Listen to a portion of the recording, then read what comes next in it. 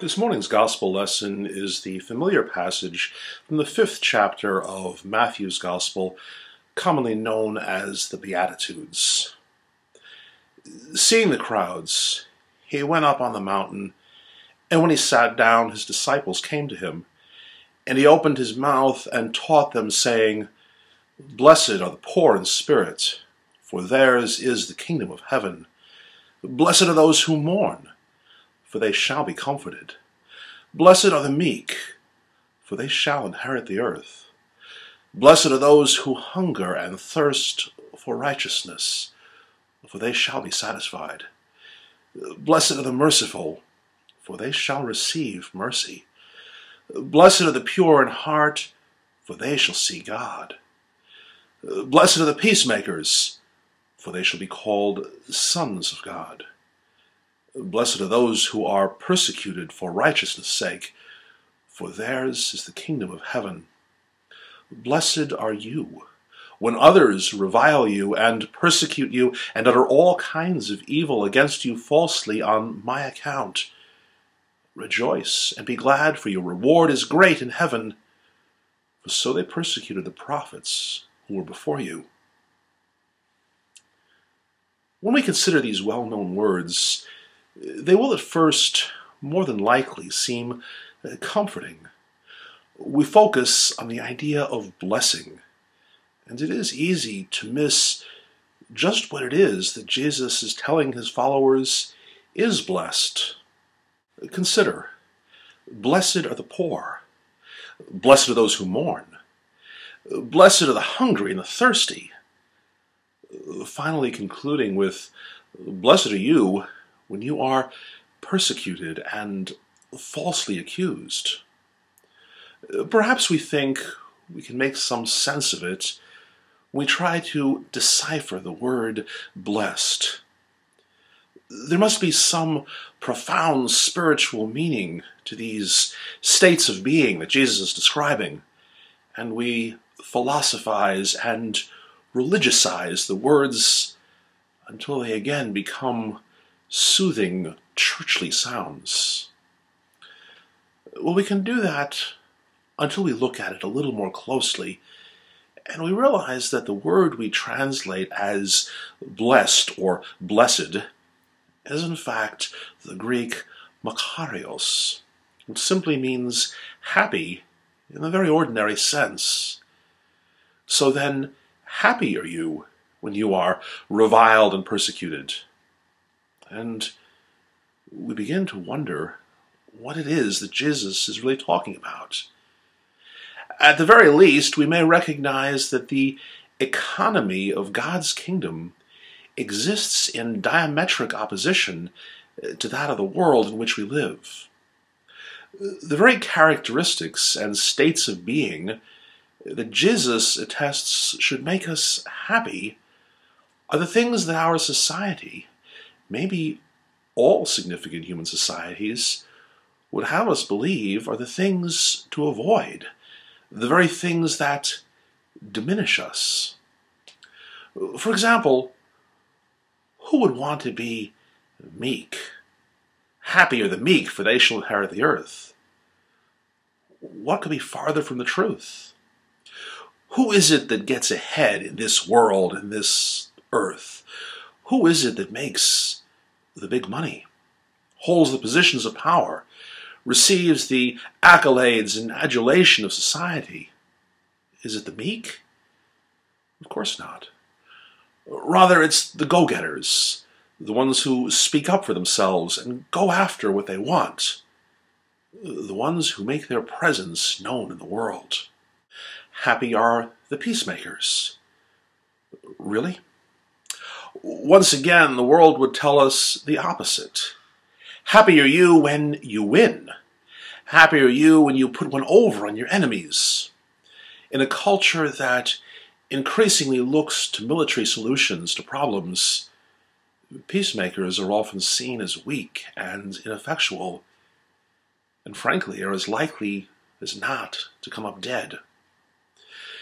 Clearly, the worldview that Jesus was describing was very different than the one his disciples were accustomed to, and just about the complete opposite of what we in much of Western culture understand. For this morning, I'd like to take a look at just the first of these so called Beatitudes. Happy, then, are the poor in spirit, for theirs is the kingdom of heaven. Now, this is often taken to mean that you must be this thing called poor in spirit in order to guarantee your entrance into heaven. And of course, there has been more than a little scholarly debate over what poor in spirit actually means. I've heard it said that one must be humble to get into heaven. That's what poor in spirit must mean to be humble.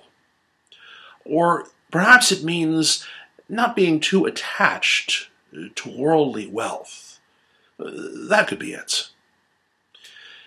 Now, while those that I just mentioned are probably good qualities, I'd like to suggest the phrase poor in spirit isn't exactly either of those things. And while I'm attempting to debunk linguistic myths, I'd also like to suggest that the kingdom Jesus is talking about is not what we usually think of as heaven. Jesus is not speaking about some uh, nether realm where the souls of good people go after death.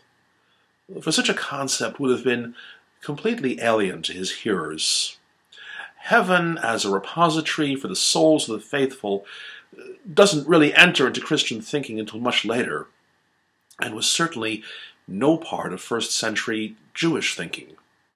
But Jesus is saying, You will enter into the kingdom of the skies, the heavens, God's kingdom if you have this particular quality to be poor in spirit.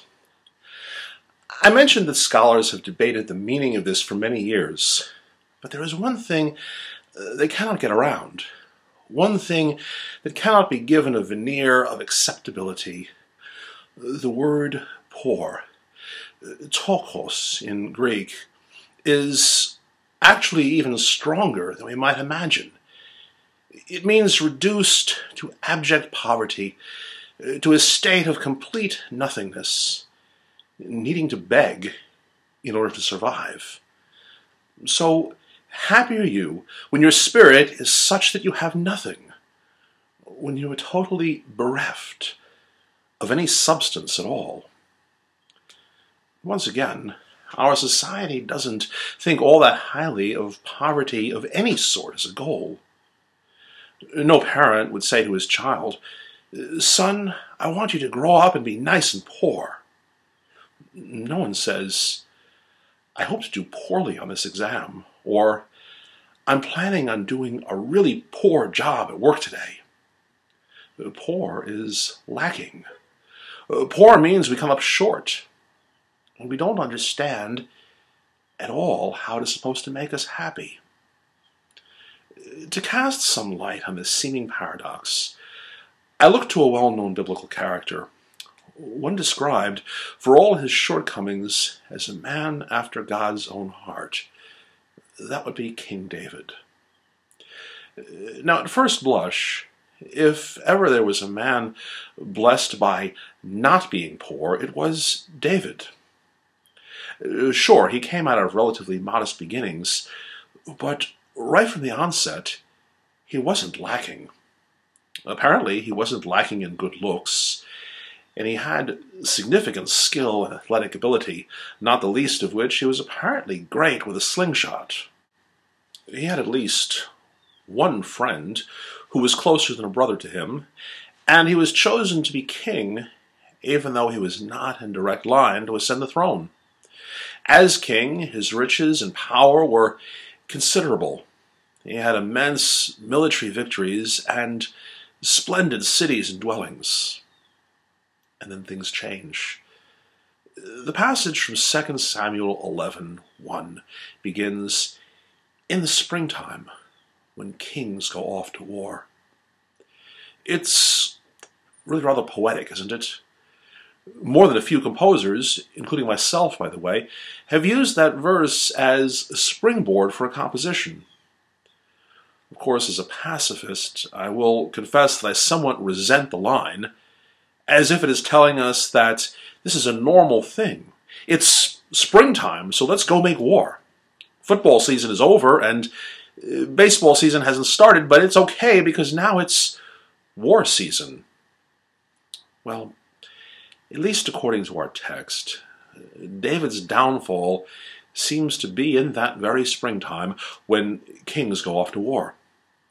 David himself, it seems, did not go personally. Uh, perhaps he was tired of war. Who could blame him? He'd had enough of it, and he was probably about fifty when all of this takes place. So he sent his generals and his men and stayed behind. And of course, we know the rest. He spied a beautiful woman, and even after discovering that she was the wife of one of his own military men, he determined he had to have her. Well, the king usually he gets what he wants. He was rich after all, and riches tend to get us what we want. Nature takes its course. The woman, Bathsheba, becomes pregnant. David tries to cover up what will surely be a most shameful scandal, first by trying to arrange a situation where uh, Bathsheba's husband, Uriah the Hittite, will believe the child is his. And when that didn't work, he arranged to kill, legally, but most unfairly, the husband Uriah. Well, in life, as I suppose we all know, deep in our hearts, surely I know it, and I suspect you may as well, we might lie to the whole world. And frankly, in a way, we are taught to do so at an early age. But there are two people we cannot lie to. We cannot lie to ourselves. Not really. Not ever completely. And it seems we cannot lie to God. So 2 Samuel chapter 12 uh, tells us that God was displeased with David's actions. So God, the story goes, sends the prophet Nathan as an instrument of correction. Listen now to one of Scripture's most heartbreaking passages, verses 1 through 7 of 2 Samuel 12. And the Lord sent Nathan to David. He came to him and said to him, there were two men in a certain city, the one rich, the other poor. The rich man had very many flocks and herds, the poor man had nothing but one little ewe lamb, which he had bought, and he brought it up. It grew up with him and his children. It used to eat of his morsel and drink from his cup and lie in his arms. It was like a daughter to him. Now there came a traveler to the rich man, and he was unwilling to take one of his own flock or herd to prepare for the guest who had come to him. But he took the poor man's lamb and prepared it for the man who had come to him. Then David's anger was greatly kindled against the man. He said to Nathan, As the Lord lives, the man who has done this deserves to die And he shall restore the lamb fourfold because he did this thing, because he had no pity. Nathan said to David, You are the man. You are the man. And in that instant, David went from being well nigh the richest man in the world to the poorest. Not because he lost wealth or power, or even at that moment his reputation, although I suppose all of that might have happened. Rather, he became poor, poor in spirit, for he completely lost his right to brag, his right to judge others as he had done even in the midst of Nathan's parable. He was rapidly reduced to being a spiritual beggar. So maybe now we have a clear picture of what it is to be spiritually poor. But why and how should this ever make us happy? The answer, I believe, is as follows. When we perceive ourselves as rich, we are not inclined to seek very much more. Or even better, put it this way When we think we are full to the brim and overflowing, we will never hunger and thirst for anything. But if we recognize our poverty, our abject need, then and only then can we desire to be filled with something unimaginably better. When David was not just on top of his palace looking to the neighbor's yard, but on top of his world, rich, successful, and powerful, the Lord of all he surveyed, he had little need for God's all encompassing love. And so he very clearly didn't have a whole lot of it in his heart. He lacked in that God given compassion, lacked in good sense, lacked morally in so many ways, though he was unspeakably rich. But when his spirit became poor, or more likely, I should say, when he realized the level of poverty in which his spirit dwelled, he realized his need for forgiveness and perhaps, just maybe, recognized his solidarity with others who were also poor and in need of forgiveness. These words from Psalm 51 are attributed to David, written, we are told, after his encounter with Nathan. Have mercy on me, O God, according to your steadfast love. According to your abundant mercy, blot out my transgressions. Wash me thoroughly from my iniquity and cleanse me from my sin for I know my transgressions, and my sin is ever before me. Against you, you only have I sinned, and done what is evil in your sight, so that you may be justified in your words, and blameless in your judgment. And later in the psalm, hide your face from my sins, and blot out all my iniquities. Create in me a clean heart, O God, and renew a right spirit within me. Cast me not away from your presence, and take not your Holy Spirit from me. Restore to me the joy of your salvation, and uphold me with a willing spirit. Then I will teach transgressors your ways, and sinners will return to you. Deliver me from blood guiltiness, O God, O God of my salvation, and my tongue will sing aloud of your righteousness. O Lord, open my lips, and my mouth will declare your praise.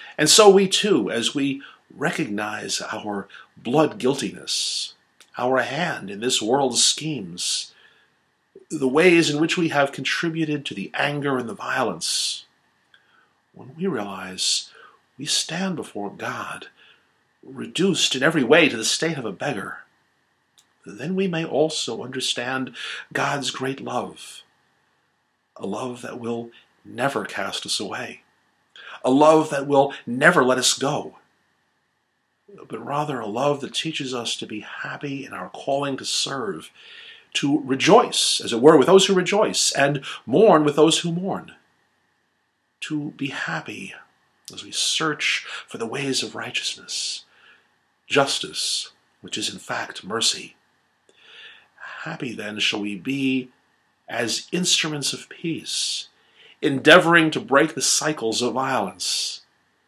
Happy perhaps even to suffer persecution, if it in the end brings about God's kingdom on earth.